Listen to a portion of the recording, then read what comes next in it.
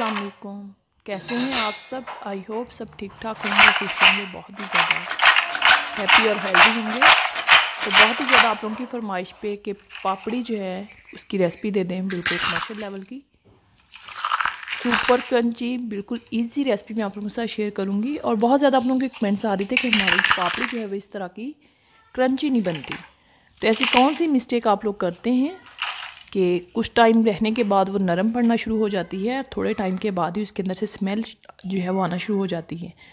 तो इसे लंबे टाइम तक किस तरह से स्टोर करना है, ऐसी कौन सी बेसिक टिप्स एंड ट्रिक्स हैं, वो सारी मैं आप लोगों के साथ शेयर करूँगी। तो चलें फिर रेसिपी की तरफ़ चलते हैं और देख लेते हैं कि मज़ेदार सी जो पापड़ी है वो कैसे बनेगी। तो बिस्मिल्लाह करते हैं। बिस्मिल्लाहिर्रहमानिर्रहीम। आप देख रहे हैं आपका अपना YouTube channel Punjab cooking secret एक कप मैंने मैदे का भर के ले लिया है। हाफ़ टी स्पून इसके अंदर शामिल कर देंगे नमक। हाफ़ टी स्पून ही मैंने अजवाइन का ले लिया है। इसे मसल के हमने डाल देना है। रमज़ान आ रहा है तो रमज़ान के लिए बेहतरीन रेसिपी है। रेसिपी को इन तक पूरा वाच कीजिएगा। स्टेप बाय स्टेप फॉलो कीजिएगा। इन ताला आप लोगों की सारी प्रॉब्लम जो है वो हल हो जाएगी। जितने भी क्वेश्चन थे आप लोगों के, उन सारे क्वेश्चन का जवाब आप लोगों को मिल जाएगा। एक खाने का चम्मच भर के मैंने कुकिंग ऑयल का शामिल कर दिया है। आधा कप मैंने पानी लिया है। आधा कप पानी ले लिया है, अब मैं अंदर शामिल करती जाऊँगी थोड़ा थोड़ा करके। फिर एंड पे मैं आप लोगों को बताऊँगी कि टोटल इसके अंदर पानी कितना जाएगा। आधे कप से कम पानी इसके अंदर जाएगा। तो एंड पे मैं आप लोगों को दिखा दूँगी कि कितना पानी मैंने इसके अंदर शामिल किया है। एक हार्ड सख्त किस्म की डो जो है हमने बनानी है। कुछ लोग जो हैं, यहाँ पे क्या मिस्टेक करते हैं कि डो को नरम कर लेते हैं। डो को नरम नहीं करना डो को हार्डली हमने गूंदना है। नरम करेंगे तो क्या होगा? वक्ती तौर पे पापड़ी जो है वो क्रिस्पी हो जाएगी, लेकिन थोड़े ही टाइम के बाद वो नरम पड़ना शुरू हो जाएगी। तो ये वाली मिस्टेक आप लोगों ने नहीं करनी। तो आटे को मैंने स्मूथली सा गून लिया है। लचक आप इसकी चेक करें। ये देखें, सिर्फ़ इतना आप लोगों ने सख्त जो है वो गूंदना है। तो वन फोर्थ कप यानी कि कप का चौथा हिस्सा जो है वो पानी इसके अंदर गया है। अगर आप लोग दो कप मैदा लेंगे, तकरीबन आधा कप जो है पानी इसके अंदर चला जाएगा। तो इसी मेज़रमेंट के साथ आप लोग किलों के हिसाब से, मनों के हिसाब से जो लोग कमर्शियल लेवल पे करना चाहते हैं, वो भी कर सकते हैं। तो अब थोड़ा सा ऑयल लगा के हमने इसे कवर करके छोड़ देना है थोड़ी देर के लिए। बटर पेपर से कवर कर लें टावल से कर लें, कोई मसला नहीं है, जौन सी भी चीज़ है, कुछ भी नहीं है तो प्लेट से कवर करके ऑयल लगा के छोड़ दें। पंद्रह मिनट के बाद फिर मैं आप लोगों को इसकी जो है वो लुक चेक करवाती हूँ तो फिर हम बाकी का काम करेंगे। पंद्रह मिनट हो गए हैं, आटा अच्छे से सेट हो गया है। ये देखें लच्चे किसकी चेक करें? अच्छा आपने गूंदा है, जितना अच्छा गूंदेंगे ना, उतनी उसके अंदर अच्छी लचक आएगी और उतनी प्रॉपर्टी जो है वो ज़बरदस्त बनेंगी। तो अब मैंने शेल्फ पे फैला लिया है इस तरह से। इस तरह से छोटे छोटे पोर्शन में हमने इसकी कटिंग कर लेनी है। बिल्कुल इजी तरीका मैं आप लोगों के साथ शेयर कर रही हूँ। बहुत ज़्यादा मेहनत नहीं लगती, मिनटों में आप लोग बना सकते हैं। बच्चों को साथ लगा लें, वो तो खुशी खुशी आप लोगों को बेल के दे देंगे। इस तरह से सारे जो है वो कटिंग कर लेने इसी दौरान अगर चैनल पर नए हैं तो चैनल को सब्सक्राइब कर लें और वीडियो को लाइक कर लें। ऑयल से ब्रश कर लेंगे। हल्का हल्का सा ना ऑयल से ब्रश कर लेना है ताकि इसके ऊपर खुशकी ना आए। थोड़ा सा हमने जो काउंटर है उस पर भी ऑयल लगा लेना है थोड़ी सी जगह पे जहाँ पे हमने इसे बेलना है। हल्का सा हाथ से प्रेस करेंगे बेलन से बेल लेंगे। अच्छा इस टाइम पे आप लोगों ने ये नहीं कोशिश करनी कि बिल्कुल गोल ही इसकी शक्ल आनी चाहिए।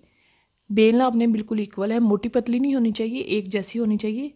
बाकी अगर कोना वगैरह निकल आए तो उसका कोई इशू नहीं है। वो ना देखने में अच्छी लगती।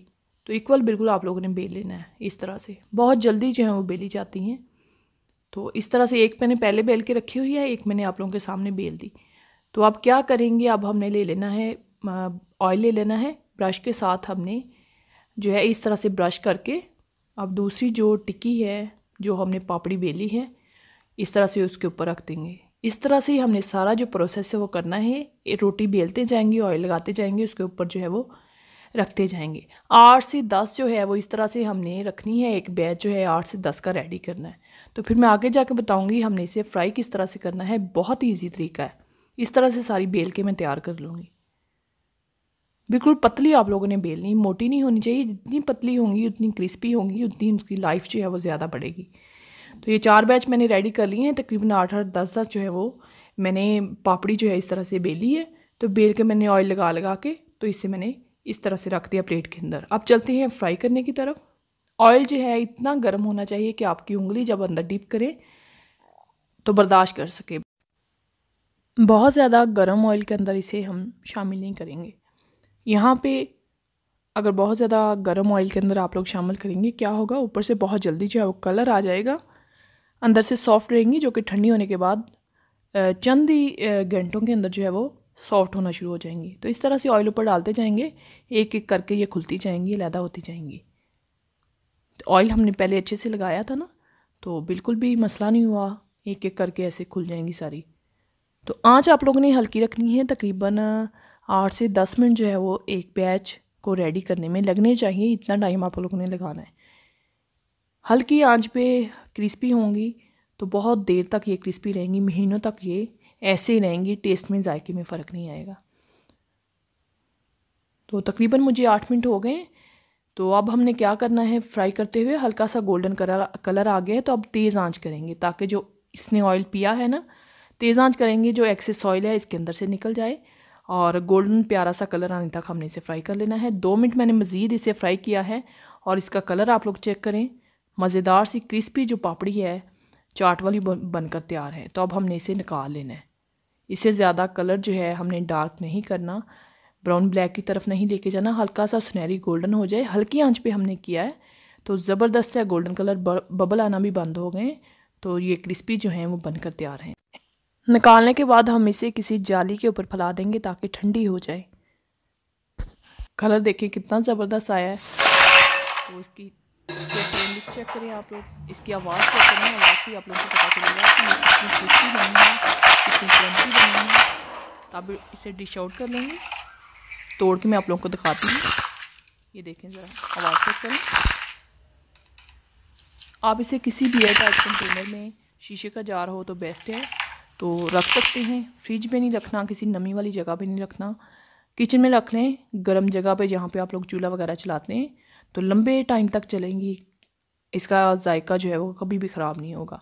तो बस छोटी छोटी टिप्स और ट्रिक्स को फॉलो करना होता है। कहीं से भूल जाएँ, अटक जाएँ, पूछ लीजिएगा। और इसी के साथ खुश रहिए, खुशियाँ बांटिए, मुझे दीजिए इजाज़त। फिर मिलते हैं नेक्स्ट वीडियो में। थैंक्स फॉर वॉचिंग अल्लाह हाफिज़।